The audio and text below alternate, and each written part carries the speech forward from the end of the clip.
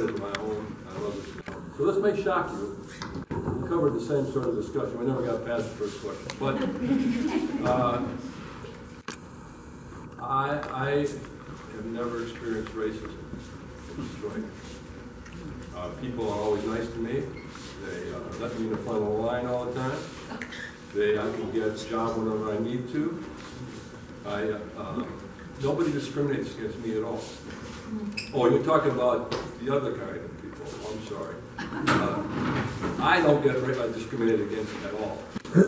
And that's what bothers me, because other people do. Uh, What we talked about was, that was just a joke, folks. I'm white and I Yeah, it was messed up, Bill. It was messed up, man. Um, Oh, racism in Detroit? Well, what we started off by saying was uh, racism is everywhere in Detroit. Uh, If you want to talk about it that way, but it's not always overt. And through the gentrification process, which we just spoke about, and we never got past the first question, we pretty much talked about the same issue.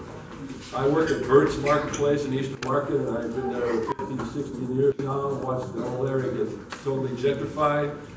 Uh, I know many of you, that's why you're here, this is one of my favorite groups, because it's one of the few groups that talks about racism and uh, tries to address the issue.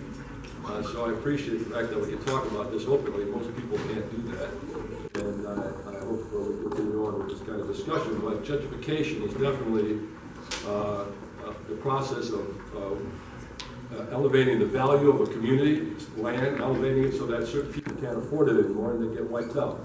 In Detroit, we're replacing people by not keeping uh, uh, the housing, not not finding a way to keep people there.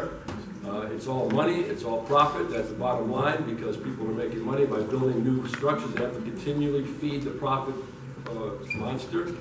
And so because they're doing that, uh, people buy land, people buy buildings, and then we uh, can't afford them anymore. And so people who don't have money or, or middle, middle income have to move out, can't afford it. And a lot of times it's based on race. Uh, and uh, when you see a specific type, type of people, I live in Hamtramck where there's discrimination against Muslims, so I mean, I see it not only against African Americans, but wherever you can discriminate against people, uh, we do it in America because it's dog eat dog, and this is capitalism, and we're going to find a way to uh, make money. That's the bottom line. Thank you.